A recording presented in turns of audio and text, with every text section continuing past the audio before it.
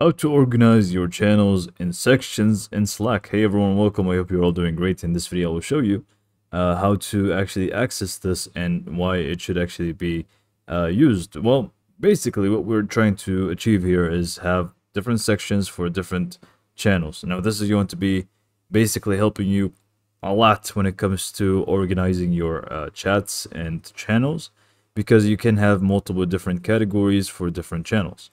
So let's just go ahead and get to it. Now, before we get started, this is not going to be a feature that is going to be um, for the free version. You won't be able to do it with the free version.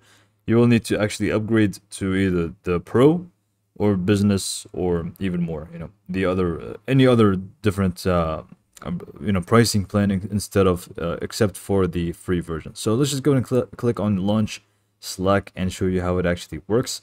Now I am currently running on the free version so I'm not going to be able to show you exactly how it's going to look like but, but I can show you how to actually create it and um, you know organize things in it. So basically sections are, are going to be much like this channel section. So you can actually actually see this channels section has one, two, three different channels in it, right?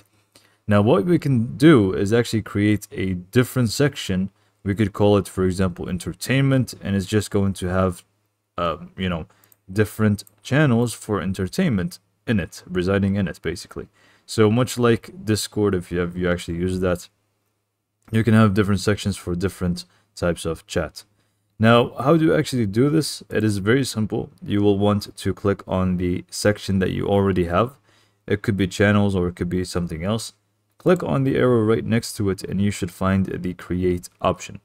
Now from the create option is probably you're familiar with creating a channel and you'll be able to just create a channel uh, inside that specific um, section, which is the channels section. But we, we don't want to create a channel like so.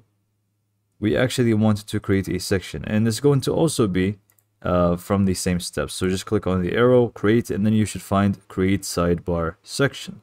Now, like I said, I can't really show you how it's going to look like because I'm in the free version, but, but if you actually do so, what it's actually going to ask you to do is give it a name, much like the channel, and you can also add emojis in it if you want, and you can just go ahead and name it, for example, entertainment. Like so.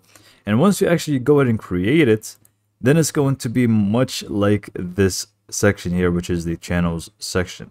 And then from here, what you need to do, you can either just click on it, click on create and start creating channels for it, or you can actually drag and drop uh, previous or, you know, pre-existing channels like these. For example, I want to drag the general and the entertainment section. I just go ahead and drag it and move it across to the um, entertainment new section that we've just created and it's just you know drop it and it should be in there uh, good to go.